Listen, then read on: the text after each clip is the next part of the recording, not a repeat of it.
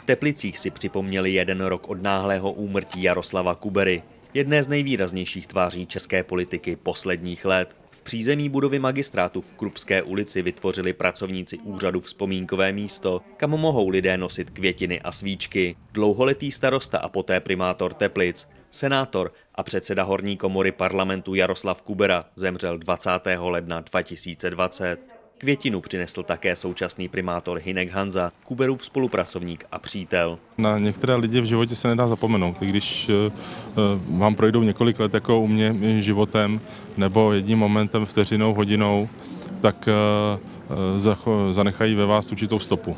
A to pan Kubera uměl bezvadně. On uměl vstoupit lidem do života a oni si ho tam uchovali a uchovali v velké míře do dneška. Takže Jaroslav Kubera byl jedinečná osobnost. Jméno Jaroslava Kubery zůstává spojené ve vzpomínkách zaměstnanců úřadu s vtipem, lidskostí, porozuměním. Na Jaroslava Kuberu vzpomínám jako na dlouholetého spolupracovníka, eh, s kterým jsem pracoval, pracoval 24 let a za prvé si ho vybavuju jako gejzír nápadů a především eh, jeho dým, který ho neustále provázel.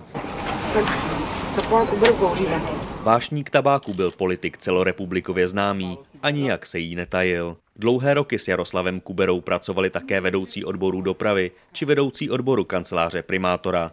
Jak na něj vzpomínají?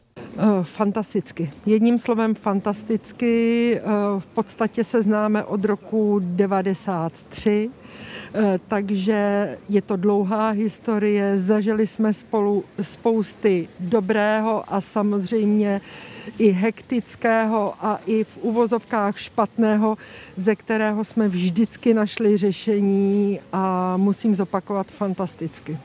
Lidsky. Já na pana Kuberu vzpomínám jako na pracovitého inteligentního a přemýšlivého člověka.